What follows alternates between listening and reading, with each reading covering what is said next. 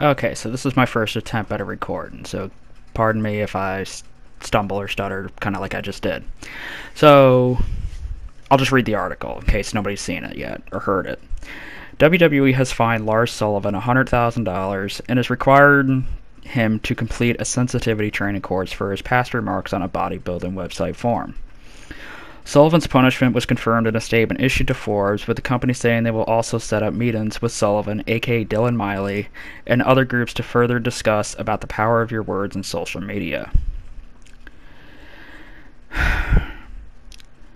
The post linked to two accounts used by Miley, aka Lars Sullivan, before before his WWE career. Let's remember that before were made between 2007 and 2013. 6 to 12 years ago. Keep that in mind. Miley's history on the forums has been brought up online in the past, most recently after a Reddit post summarized in LinkedIn, which got more attention from the pro wrestling community.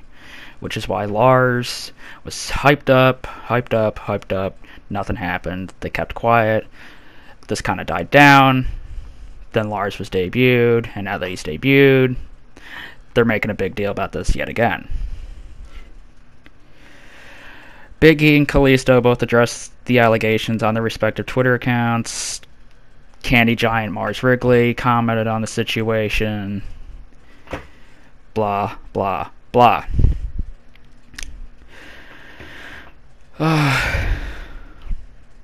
Lars Sullivan has since apologized for it.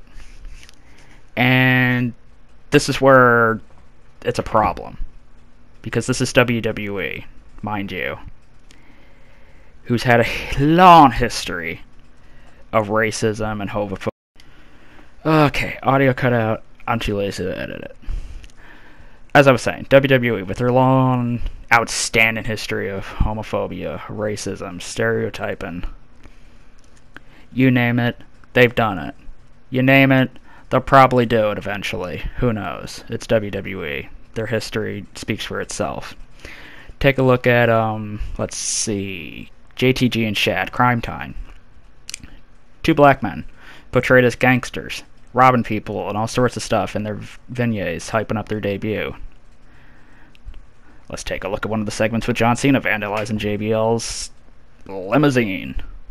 You can't tell me that's not stereotyping black people. Let's take a look at Billy and Chuck. Billy Gunn and Chuck Palumbo. When they were a tag team, they were portrayed as a gay couple. Um, th- yeah, they were portrayed as a gay couple. Because I remember they were gonna get like some like married or whatever, and that's when Three Minute Warning attacked them. I believe, if I remember correctly. Excuse me, this was a while ago. Just like these comments by Lars was, and they were managed by Rico, of all people. Um, let's take a look at Muhammad Muhammad Hassan, Daivari, Kenzo Suzuki, all portrayed as anti-Americans. They hated America. Everything they did was against this country.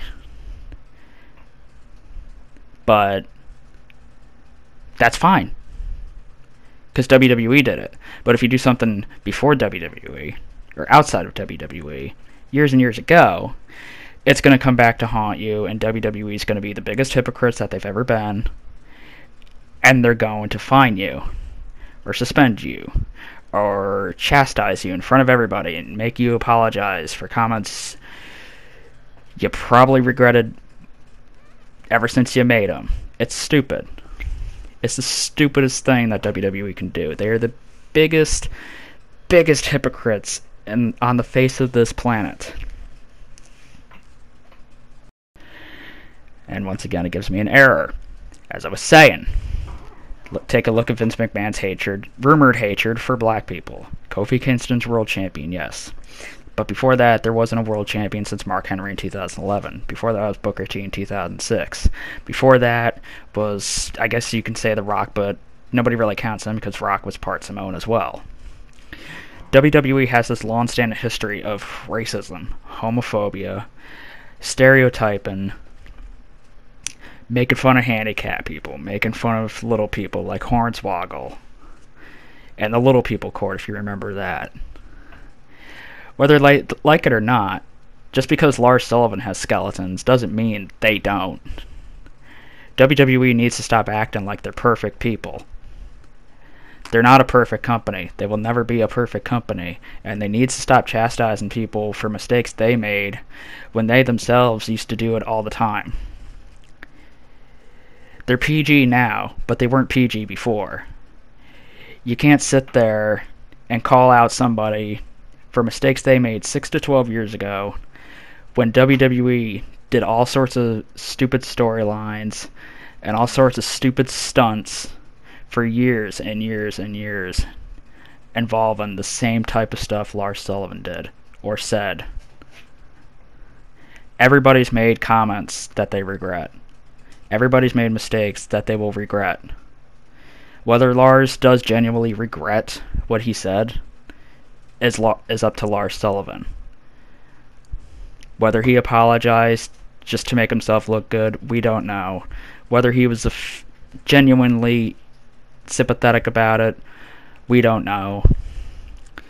But it's just the fact that you can't sit there and pretend you're perfect because you're not.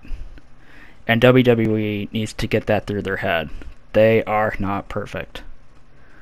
They've done so much for years and years before this PG era ever started. WWE needs to realize their mistakes that they've made in the past rather than calling out superstars like Lars Sullivan or any other superstar on their roster for mistakes they made in the past. I don't condone what Lars said, but what I have a problem with is the fact that he made them 6 to 12 years ago. Way before he ever decided to join WWE, way before he ever decided to go from a bodybuilder to a wrestler, sports entertainer, superstar, whichever you prefer to call it nowadays. I also don't agree with the $100,000 fine. But, whatever. Whether that's real or not, I don't know. I don't think it is because it's a bit outrageous. They could just be saying that. Who knows? The sensitivity training, I guess, makes sense, but you can't send somebody to sensitive sensitivity training for skeletons that they have when you have a closet overflowing of skeletons of your own. WWE are hypocrites. Everybody knows that. You can't sit here and act like you don't. And like I said, this is the first video I've ever made with my voice. So I know I screwed up. I know I stuttered, stumbled, what of it. I just had to make a video about this because I don't agree with how they're handling this but I don't condone what he said. I just have never seen the point of doing something to somebody for comments they made years ago. If they're with the company when they made it, yes, I can see that. But again, WWE has done stuff in the past that are more outrageous than whatever Lars said or did. And they need to realize that and stop pretending they're perfect. So that's all I got to say about it. Thank you for listening. Again, my first video that I made with commentary. Sorry if it sucked. I may do more of these. I doubt it. Who knows? We shall see. Hope you like it. Like and subscribe. And I may see you in another video. Peace.